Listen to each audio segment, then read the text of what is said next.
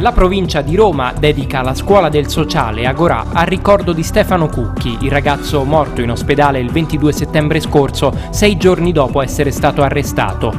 L'istituto sulla Cassia è uno dei centri di formazione provinciale aperto a tutti coloro che vogliono progettare il proprio futuro professionale nel sociale, come spiega l'assessore al lavoro Massimiliano Smeriglio. È una scuola che forma assistenti sociali, operatori sociali, personale sociosanitario, medici, quindi per noi oggi è importante che la provincia scopre questa targa che dedica la scuola del sociale, cioè la scuola più adatta a ricordare Stefano Cucchi e lo fa dire, al massimo della rappresentanza istituzionale, cioè avendo votato un, anche un atto in consiglio. A scoprirne la targa con la dedica Stefano Cucchi i genitori del ragazzo, Rita e Giovanni, sensibilmente emozionati. Un fatto importantissimo, la memoria di Stefano che viene dire, riproposta, il suo caso drammatico che viene riproposto all'attenzione dell'opinione pubblica che deve servire come monito, come monito perché diciamo, eh, nel futuro queste cose non avvengano più.